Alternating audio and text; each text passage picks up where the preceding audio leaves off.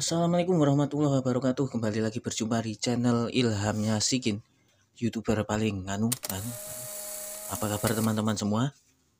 Saya sambil ngelap tangan ya. Semoga tetap sehat Lima sempurna. Ini sebuah spring teman-teman. Teman-teman sudah tahu dong. Iyalah masa kayak gitu makanan ya bukan ya. Itu spring yang sudah kita upgrade.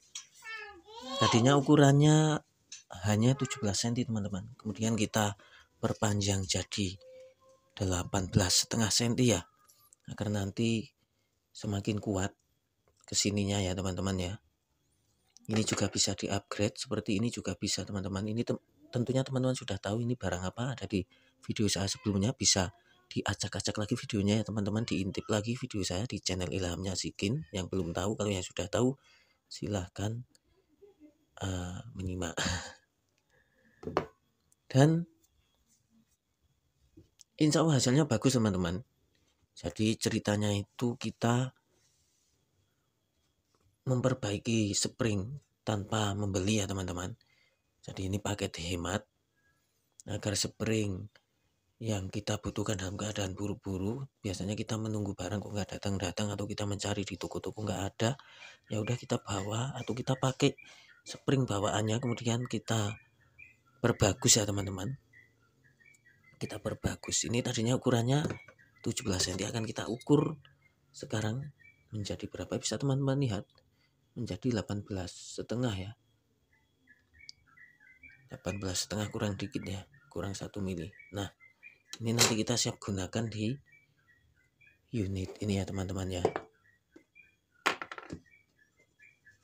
Adapun alat dan bahan-bahannya untuk mengupgrade-nya ya.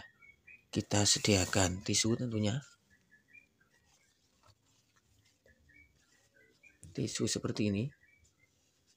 Kemudian springnya karena ini udah diproses sekarang kita pakai spring yang lainnya teman-teman. Sebentar saya ambilkan. Nah, akan kita gunakan ini.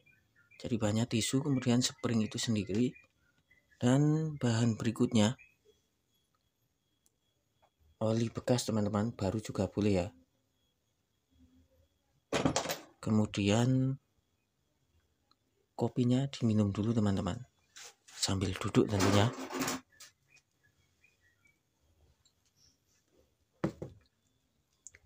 berbagai macam alasan kenapa spring harus di-upgrade, kenapa spring harus diperbarui. Terkadang ada ya di antara kita yang mungkin kurang puas dengan spring bawaan lalu kita pengen yang lebih panjang lagi bisa kita beli adapun kalau kita ingin membeli biasanya kita nggak sabar ini barangnya nggak nyampe atau belum nyampe atau lama atau bagaimana. Sedangkan kita mencari di toko offline kita juga terkadang kesulitan untuk mendapatkannya. Nah satu-satunya jalan kita perbagus ya teman-teman. Ini misalkan ini ukuran dua setengah kalau nggak salah ini ya ukuran awalnya oh 3 cm teman-teman. Bisa lihat ya. Kita tarik terlebih dahulu sesuai yang kita suka. Misalkan jadi ukuran 4 cm ini nah ini sudah ukuran 4 cm tarik dulu ya. Kemudian kita masukkan ke proses selanjutnya. Proses selanjutnya ya ini kita mainkan kemari teman-teman. Bisa dilihat. Alhamdulillah turun hujan. Sini Magelang tercinta nah ini dia prosesnya teman-teman ya.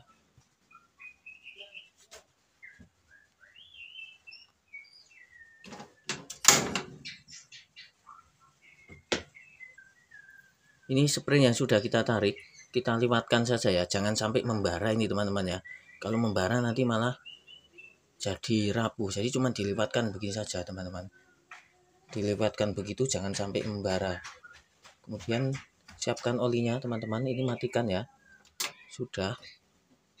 Matikan kemari langsung kita masukkan. Nah situ.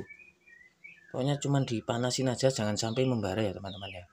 Ini bisa teman-teman diamkan di oli ini biar berenang atau biar berendam lama nggak masalah.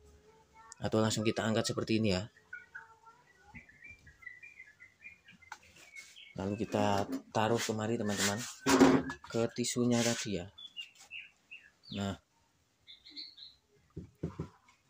ingat ini cuma dilewatkan ya, jangan sampai membara. Kalau membara nanti malah jadi uh, rusak alias kurang lentur. Jadi kalau dipanas tujuannya agar dia nggak cepat balik, langsung kita dinginkan dengan oli. Seperti itu ya teman-teman. Kalau membara nanti malah jadinya nggak karuan atau empuk itu atau rusak ya. Jadi cuman sekali lagi saya tekankan cuma di angetin atau dipanaskan. Ini cara darurat atau cara cepat begitu ya daripada kita berlama-lama menunggu barang yang kita suka tapi nggak kunjung datang nah kita pakai semacam ini ya teman-teman dan insya Allah hasilnya juga lebih awet tentunya ini masih panas masih hangat tuh tetap onyo ya teman-teman karena kita hanya panaskan bukan dibarakan jadi nanti kalau teman-teman mencoba di rumah malah membara, kemudian dimasukkan ke oli sampai membara ya, membara dulu kemudian masukkan ke oli, pasti itu rusak. Nanti waduh ini channel ilhamnya skin kok begitu begini. Seperti itu ya teman-teman. Atau malah salah urutan. Jadi ini belum ditarik, kemudian kita angetin, baru panas-panas kita tarik begitu, wah, pasti tangannya nyus gitu teman-teman ya. Seperti itu. Adapun fungsi dari spring sendiri teman-teman juga sudah tahu tentunya. Ada yang untuk memperbaiki hammer, ada yang untuk memperbaiki passer ya, seperti ini. Kemudian berbagai macam tujuan dan berbagai macam alasan untuk memperbaiki spring atau per ya teman-teman. Yang perlu diingat, fungsi spring ini jangan terlalu dipaksakan. Misalkan standarnya ukuran 17, kemudian kita paksakan menjadi ukuran 25 tarik panjang begitu ya.